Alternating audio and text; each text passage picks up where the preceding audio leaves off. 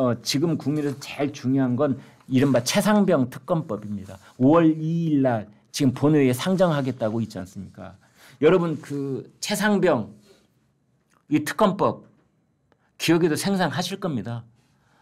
어, 결국은 그 작년 7월에 2003년 2023년 7월에 그때 큰 홍수가 됐잖아요. 경북 예천에서 이제 민간인이 실종이 됐던 겁니다. 그래서 실종된 민간인 수색 작업에 우리 군 병력이 투입이 됐던 거죠. 그때 해병대 병력이 투입이 됐던 겁니다. 그런데 불행하게도 우리 생때 같은 젊은 병사 한 명이 목숨을 잃은 겁니다.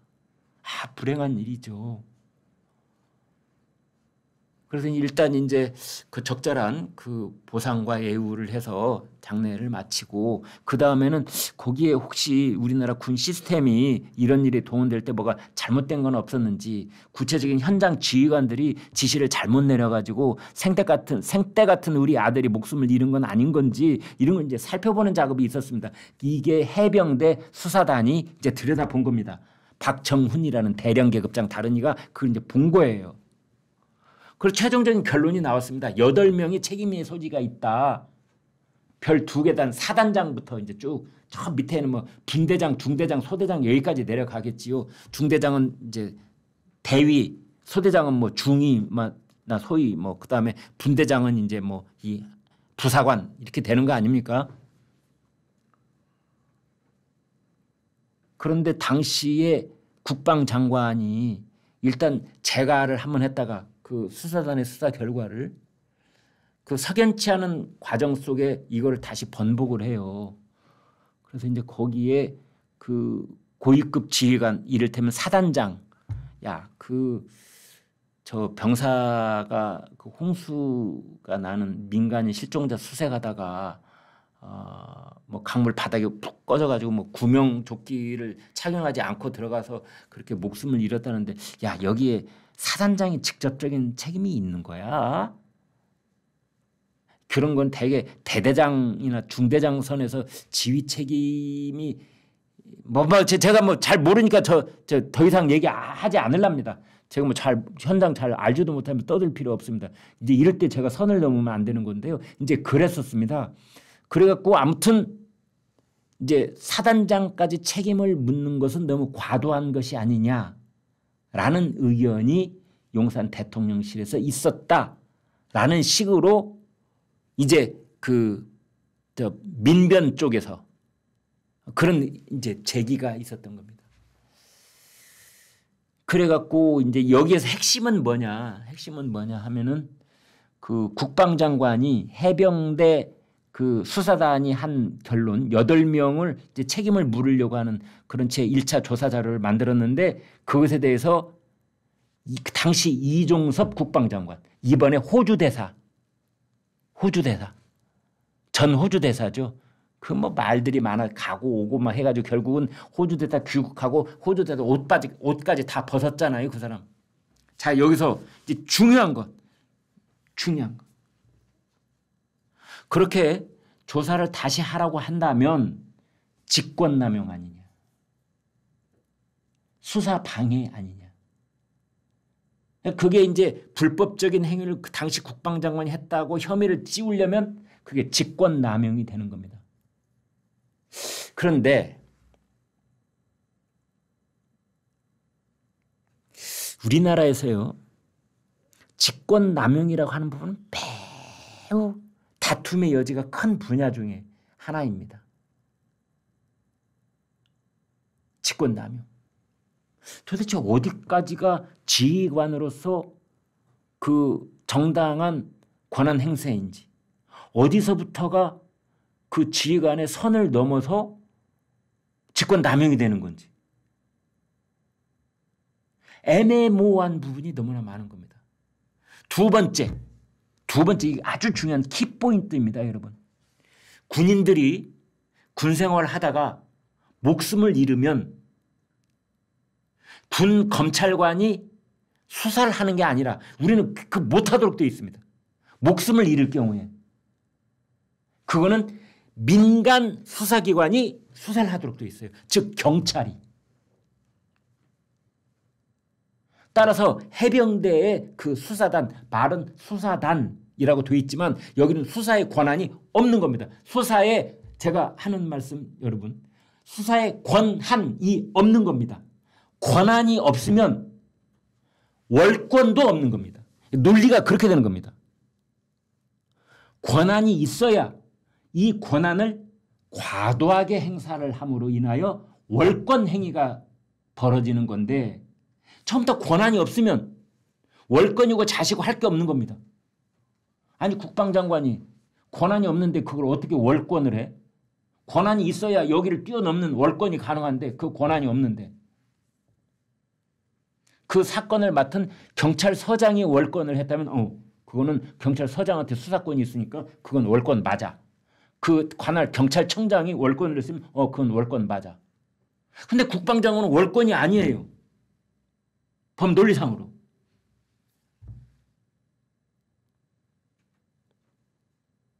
세 번째. 이거는 공수처 수사 상황입니다. 공수처.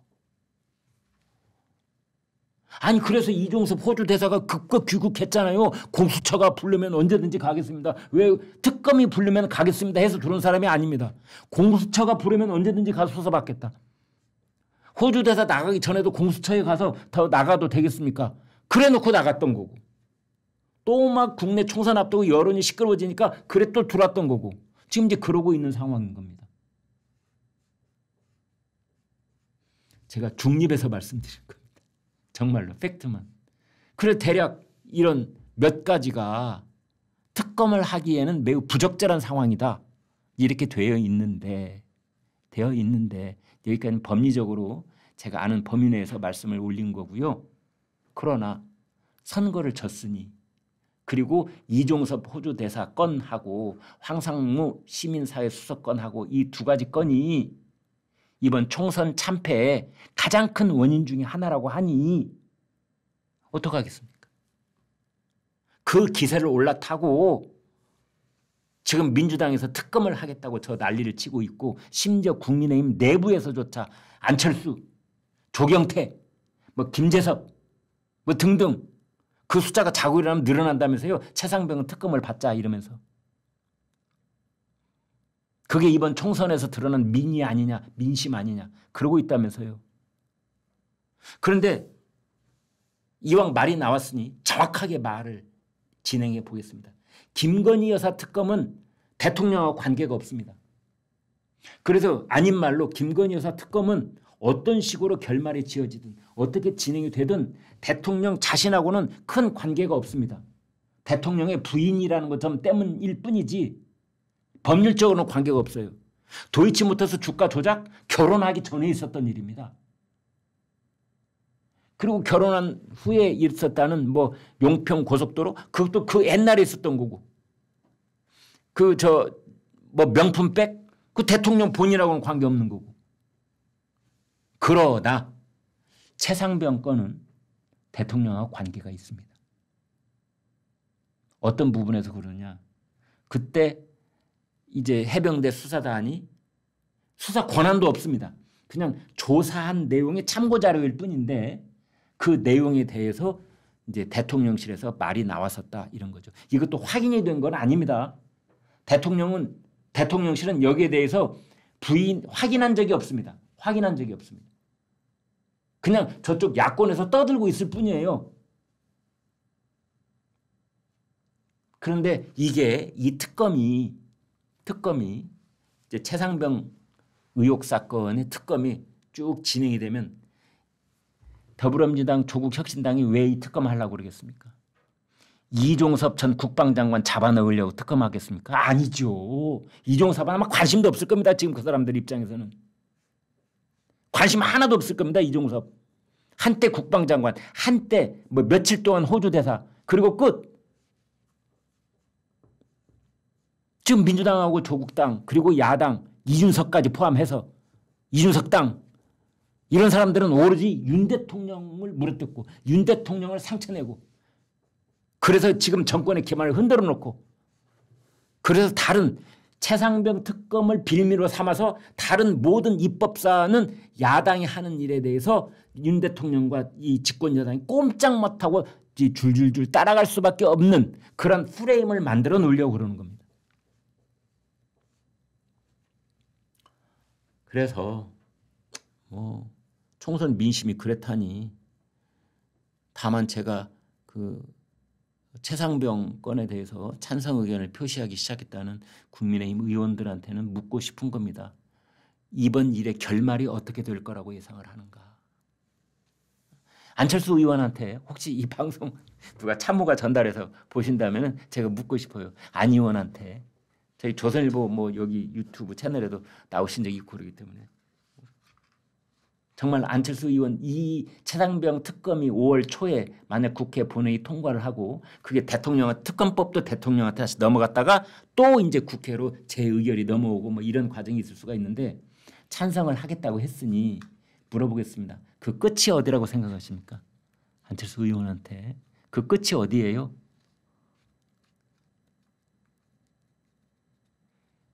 이제 그런 건데요. 아무튼 지금 이것이 그 총선 끝나고 총선 끝나고 지금 최대 이슈가 아, 돼 있습니다. 그 최상명 특검은 뭐 규모도 엄청나더라고요. 104명, 100명이 넘는답니다. 검사만 40명? 아, 제가 여기 검사가 몇 명이에요? 검사 20명, 공무원 40명, 특별수사관 40명. 그렇게 말해 벌써 100명이 되네요.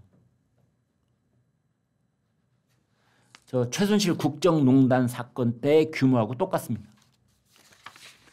그렇게 법은 이미 그렇게 돼 있습니다. 왜 그렇게 하겠습니까? 그 끝이 어디길래 도대체? 네, 오늘 준비한 내용 여기까지.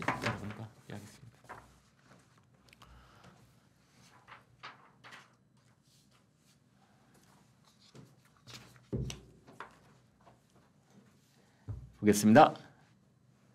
한동훈 이렇게 소모시켜놓고 배신 때리면 개고생 할 필요 없음 파랑새님.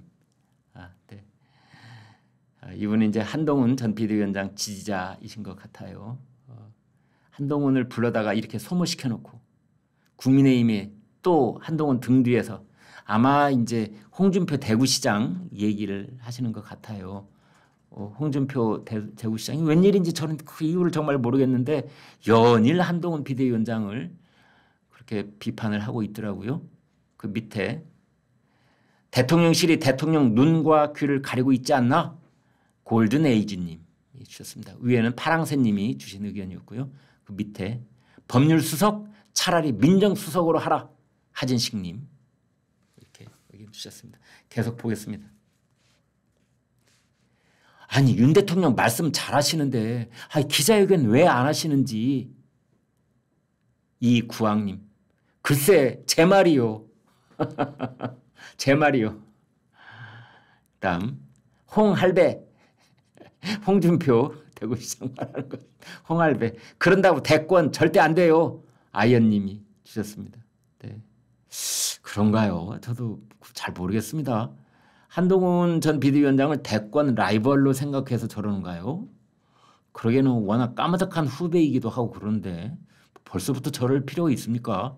대통령 선거 3년 전 후인데 그 다음에 마지막 어, 최상병 특검. 특검 다음엔 탄핵이겠지. 이호호 아줌마님. 그러는데 어, 저런 것에 대해서 국민의힘 쪽에서는 어떤 대비가 돼 있는지 궁금합니다.